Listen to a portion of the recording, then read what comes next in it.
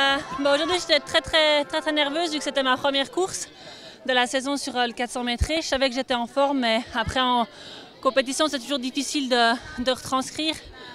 Euh, dans l'ensemble, c'est très très bien passé. J'ai réussi à tenir mon rythme. J'avais une fille dans le couloir devant moi qui était à mon niveau et j'ai réussi à la dépasser dans les, dans les derniers, derniers mètres.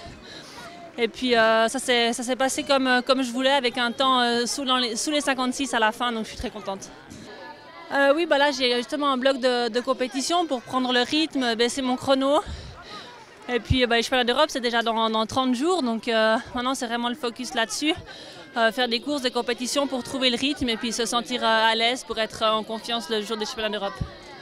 Bon, de toute façon, dans une saison régulière avec un seul grand championnat, on a toujours deux pics de forme, vu qu'il y a un premier pic pour faire les, limites et un deuxième pic pour le, grand championnat. Donc cette année, c'est plus ou moins le, même schéma avec le premier pic de forme au championnat d'Europe. Ensuite, un, bon mois de, préparation. On va repartir faire un stage à, à Tenero pour remettre un peu, un peu, une couche. Et puis euh, après, les, après les Jeux Olympiques, ce sera le deuxième, le deuxième Höhepunkt, comme on dit en allemand.